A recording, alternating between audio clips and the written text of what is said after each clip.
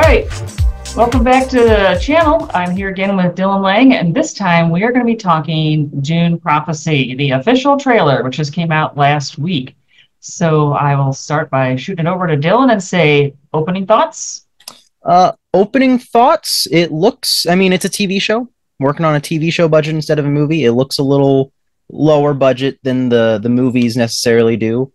Uh, but I did like there was a lot of really interesting like transitions in the trailer. I don't know how many of those will stay in the show, but I if it's covering the beginnings of the sisterhood like it it seems to be, uh, I think it'd be cool if we get something a bit more surrealistic with its editing.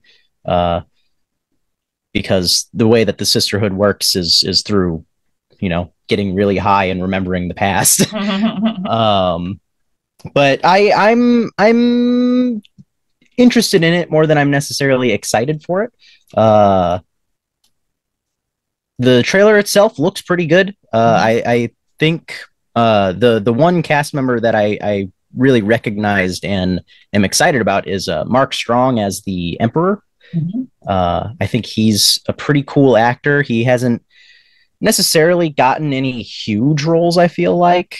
Um, but you know, he was like the the villain in Shazam, um, and he's been in the Kingsman movies. Um, but in lots of things. yeah, he's he's been in a lot of things, so it's not like he's an unknown. But I just feel like he's never gotten like a leading role necessarily. Mm-hmm. Uh, and I feel like he's not necessarily going to get it with this either. But I'm I'm just yeah. excited to see him whenever he shows up. Yeah, I think we get this like we want a sister on the throne part, and then you see, you know, other people sitting on the throne that, that aren't him.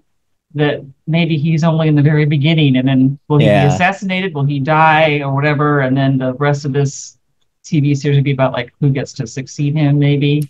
Maybe we don't know, but yeah, I, it looks interesting. And obviously, I guess Denis Villeneuve was originally involved in doing some of it, um, but they do seem to like picked up a lot of his style of set design and stuff and yeah it, design. It seems to be brutalist the way that uh Denis Villeneuve kind of characterized it. Because at first I wasn't sure. Because again, so uh, there's been kind of a long uh, production history with this. Uh, I, I want to say uh, it started almost immediately when it, it, was okay. It was uh, it was just before Dune came out. It was in 2019 when they announced that they were doing this. Uh, part one of of Dune. Uh, it was in 2019 that announced that uh, a show called uh, Dune Sisterhood would be getting made, and Denis Villeneuve was set as a producer, and he was supposed to direct, I think, the first episode. Mm. Um, then they, there was something that ended up happening. They went through all types of different showrunners and, and script writers until uh, they got onto I think the the most recent ones. Uh, I'm not sure who it is, but they uh, they changed it to Dune Prophecy, and I think Denis Villeneuve is only attached as a producer now. Mm-hmm. Um, if if if even that. Uh, so I was kind of curious if it was still going to be canon to the movies uh, because it's being done by Warner Brothers, uh, mm-hmm. HBO, the same way or the same studio that did the the, the new movies. Uh, and then like the the logo in the trailer seems to look a lot like the one in the movies, and the logo, the final logo that like they have on like the Wikipedia entry, it looks a little different, but it's still going for the same kind of simple style. So I, mm-hmm. I guess it's just a variation to distinguish that it's set in the past, maybe. Um, yeah, the but, way they play with time is, I think, is going to be interesting because we had this character from 10,000 years before Dune.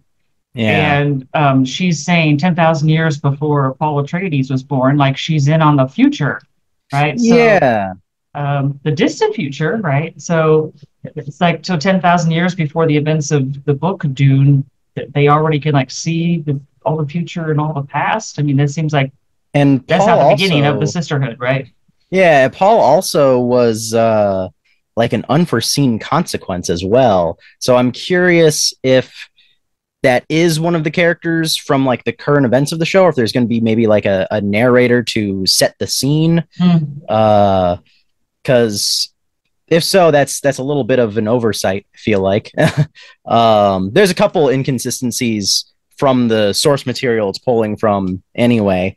Uh, I that I've I've heard of. I've heard the Brian Herbert and Kevin J Anderson books uh, pretty frequently kind of break away from established uh, concepts. Mhm. Uh, I know. So this is specifically based off of the uh, Dune uh, Sisterhood of Dune book, which is part of the Schools of Dune trilogy. I'm wondering if they might have changed the name from Dune Prophecy to Sisterhood of Dune because they might be doing the whole trilogy eventually. Hmm. Maybe with the success of the movie, they decided to retool it at from like a mini series to like an ongoing series. That'd be kind of interesting. Mhm. Plus, it's like I, I I think setting something this far back is kind of a, a good idea because it's so far back. It's ten thousand years that like you can really keep making seasons for this All right. and not really have to worry about uh, overstepping into the current timeline of the movies or anything. Yeah. And then even that's supposed to be like 13,000 years in the future for us. So Yeah. you've got 23,000 years of history you can bounce around in without really coming up against anything that you know we've seen so far in the movies. yeah. Uh, So, so yeah, it'll be interesting, I think. the first book is set immediately not immediate it's like 80 years i think give or take but it, it- it's pretty immediately following up on the events of the uh, butlerian jihad prequel trilogy they wrote and i'm curious if they'll touch on the the jihad at all they've been kind of avoiding using the word jihad in the most Movies. recent Mhm. adaptation.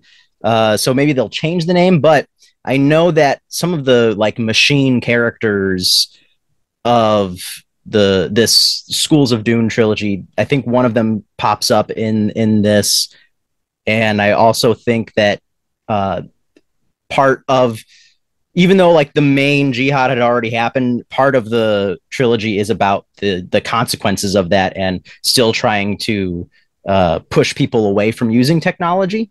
Mhm. So I'm I'm really curious to see that aspect because I feel like uh, the part one of Dune was really good with the world building. Uh, part two kind of s- speed run through a lot of it, and I'd be curious to see this universe's interpretations of like the Spacing Guild and uh, the Mentats.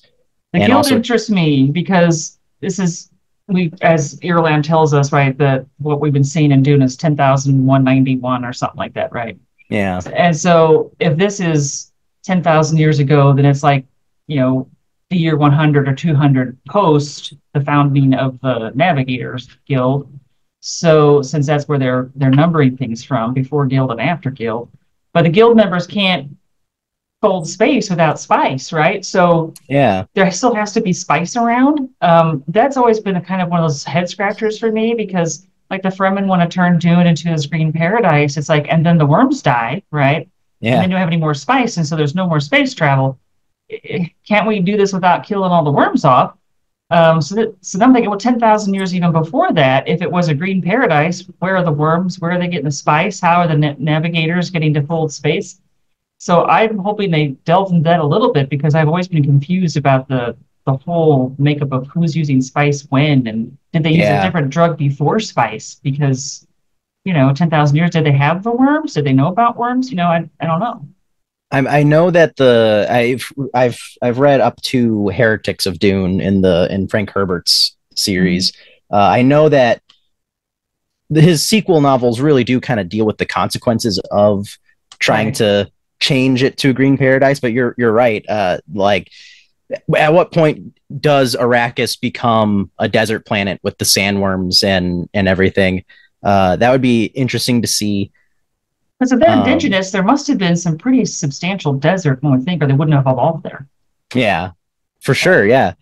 Uh, and yeah, just again with the Spacing Guild, there's there's such a bizarre element of the books whenever they really start kind of revealing them. Mm-hmm. Like like in Messiah, they have one of the main navigators, and he's like in this fishbowl, and he's like a weird webbed creature. So see, I, I'd be curious to see if they put that in this TV show because I feel like that's kind of a major element, like a major reveal of Messiah that they might want to save for the movies. Mm-hmm. Uh, I don't know how early on into every like like how how deep into development each house is going to be or uh, guild is going to be for yeah.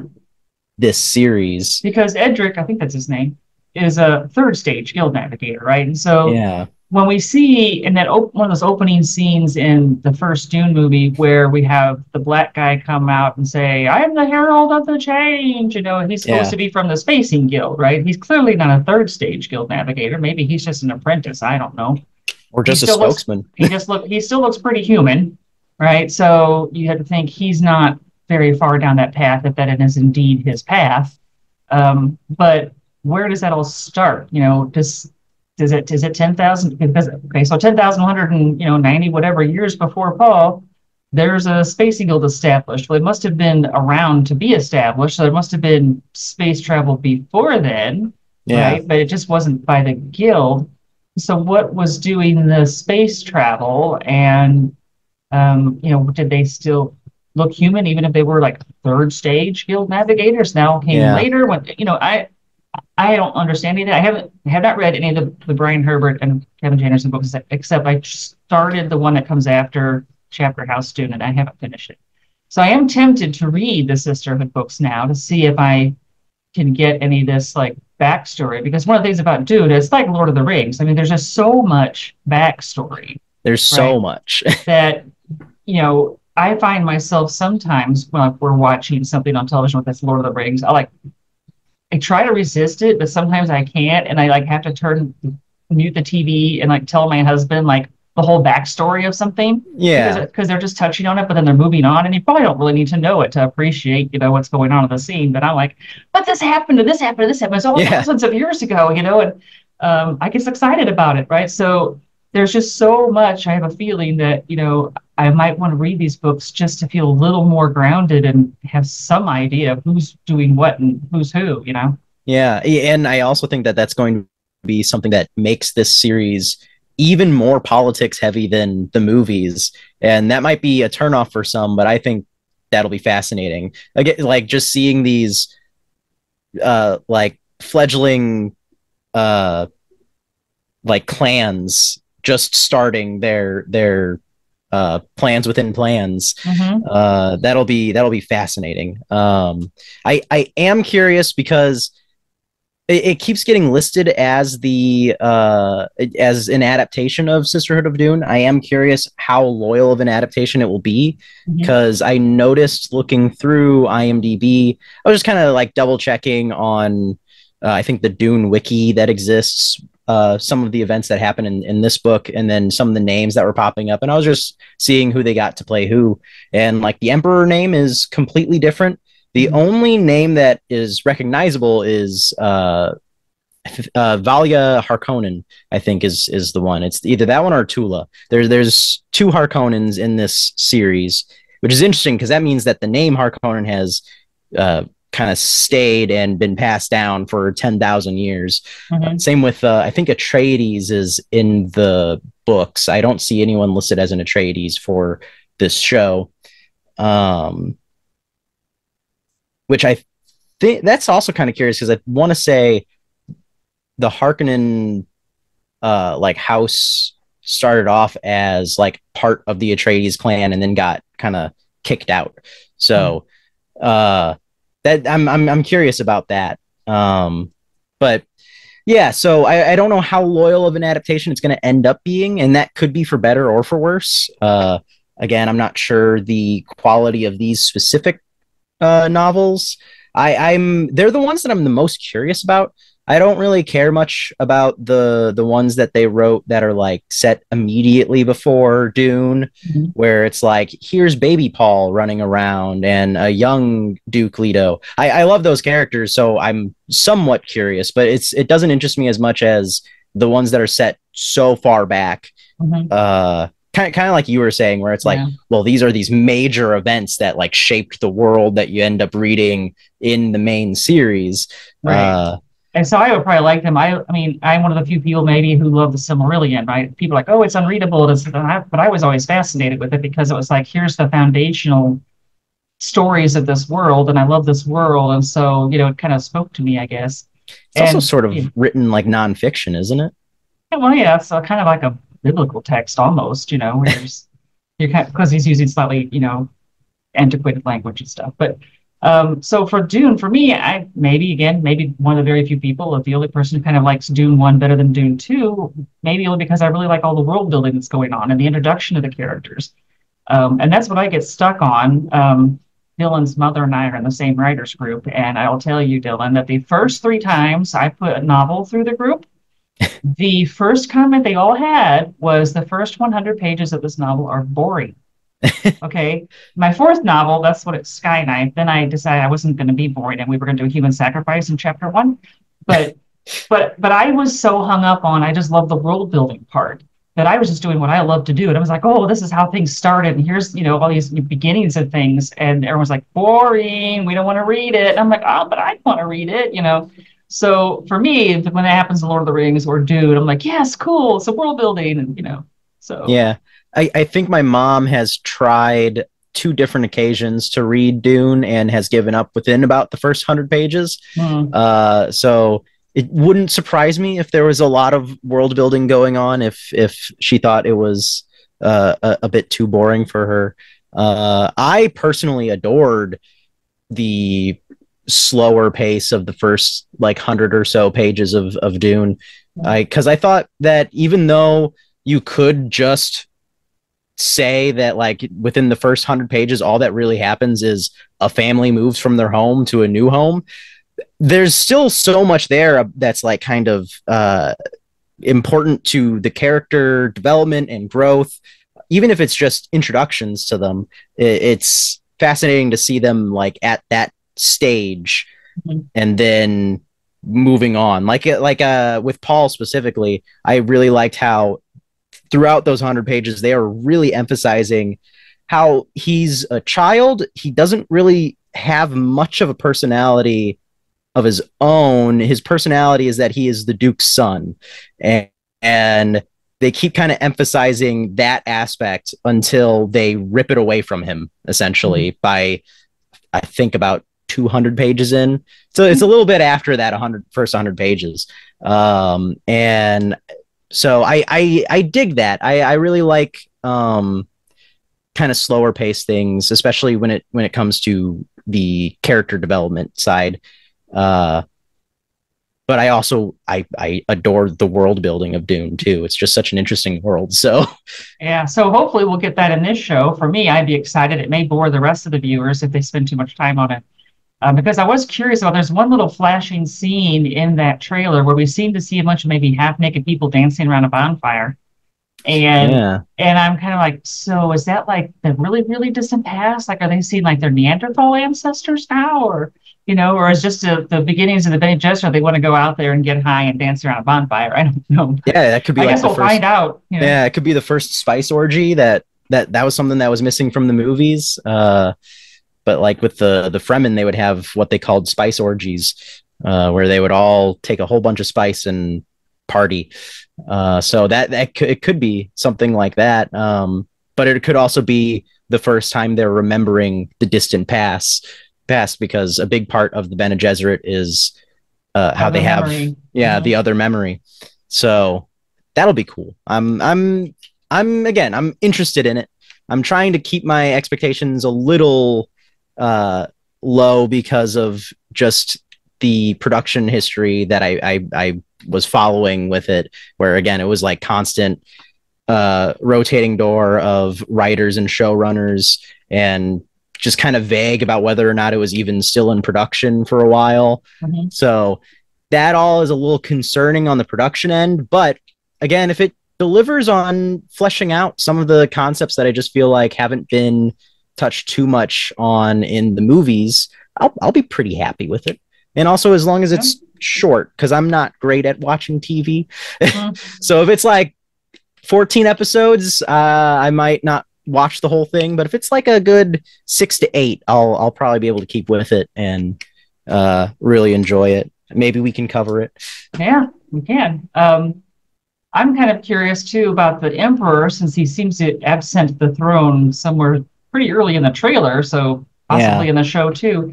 Um, I think he's supposed to be a Corrino like Shaddam the Fourth, and so if this, then I find it interesting that okay, this dynasty has been on the throne for at least ten thousand years, which makes me think that Shaddam is just sort of like not much of an emperor because he's kind of like taken down real easy. Right? Yeah. He can't. He just can't let the rest of the Landsraad know that he helped the Harkonnens kill the Atreides. That's enough.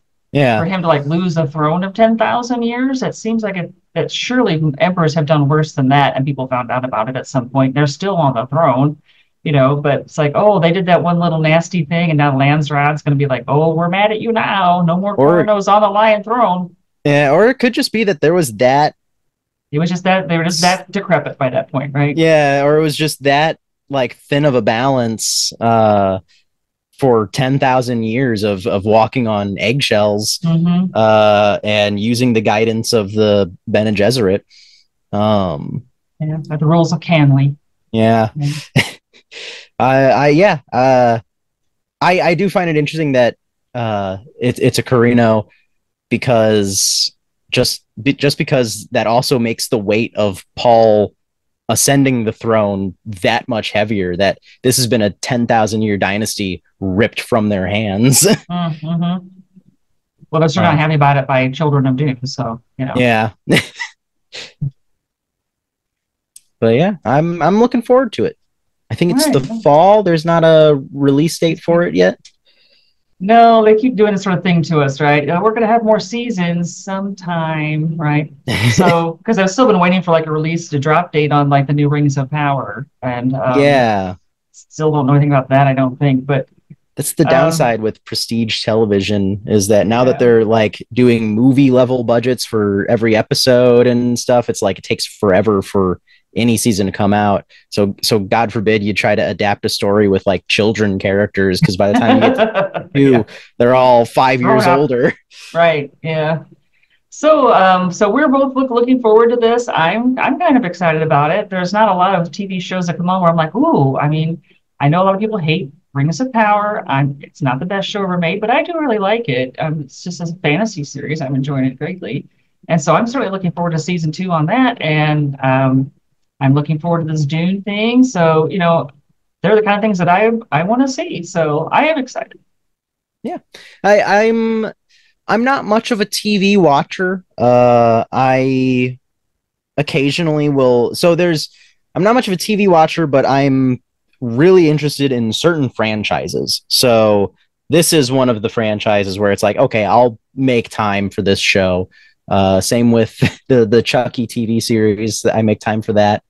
Uh, I made time for the Resident Evil TV series they made on Netflix, though I thought mm-hmm. that was really bad. I kind of hate watch that more than anything.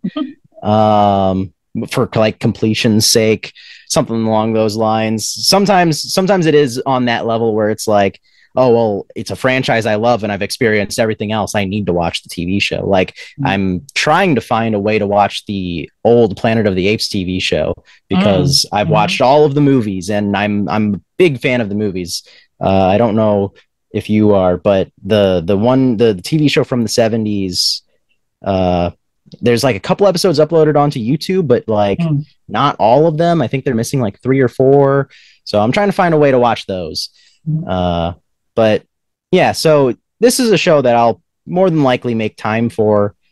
Um, I haven't watched Rings of Power. I'm kind of curious about it, but I also heard that they they gave like a uh, their their plan for the five seasons basically, and I was like, well, it doesn't sound like anything I'm really interested in happens until season five, mm.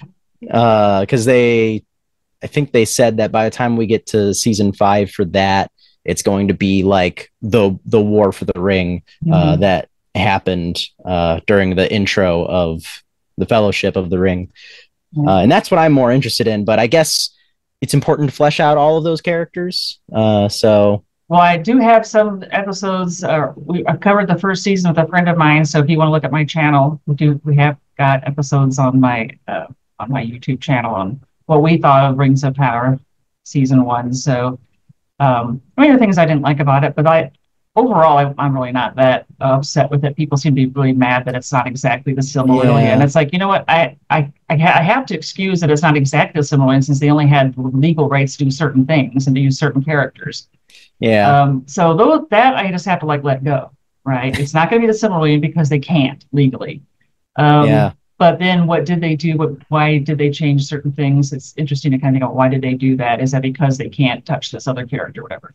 So, but with Dudas, and they're not going to have that problem because Frank Herbert and or maybe gone, but Brian Herbert and Kevin Anderson are still around, and I think they're both technically producers on this. So yeah. you know, um, you know, we'll have to see what what happens. But um, I mean, it looks very interesting. The one thing I'm I'm curious about, I guess, in a way, is they seem to have like stuck with a lot of the costuming kind of design from the movies, especially with women Yeah. having all these beads in their faces, which I think, find really weird. None of the men ever wear these costumes with all these beads hanging in front of their faces. um, but it's like so that that style lasted for ten thousand years apparently, and I, I don't even understand we, why we have it. You know, why Yeah. we have to semi hide their faces, but not really. I think that partially has to do with the kind of uh, Islamic, uh, like, Like a semi hijab im- or something. yeah, it has to do with like the Islamic imagery and and uh, culture that the Dune books do pull from. Uh, and I think that, that that's just the TV shows trying to incorporate it in some, or the the movies and the TV show trying to incorporate it to some extent. But I do agree that it does seem like not a lot has changed in ten thousand years. Mhm. I kind of feel like the move or the the books are a little guilty of that because the books end up jumping by like five thousand years uh, at a certain point, and it doesn't feel like a whole lot has changed. It might be a commentary on, you know, complacency that things don't need to develop uh, under the rule of an emperor. Mhm. I know that that's kind of what Frank Herbert was really getting at was that Stagnation. yeah, Yeah. stagnation from rulers are is a bad thing. So I can I can see an excuse, but at the same time, ten thousand years is a long time. I don't Come think people really understand how long of a time that is. Come up with some design in the costumes already. Right. Yeah. All right. Well, okay. I enjoyed having this little chat with you, and I hope that you guys who are watching are also looking forward to it, and that uh, when it comes out, Dillon, I'm sure we'll talk about it again, and I hope you will leave comments. And on this one, certainly like and subscribe. Leave us some comments, and if you're excited to see it or not, or you're just going to like throw in the towel and say, "I'm not looking at this TV show," but um, hopefully you will, and we'll hear what you like about it, and what you didn't like about it when it does come out. So thank you, Dillon. And, Thank you we'll for having me on. We'll see you next time. 拜拜。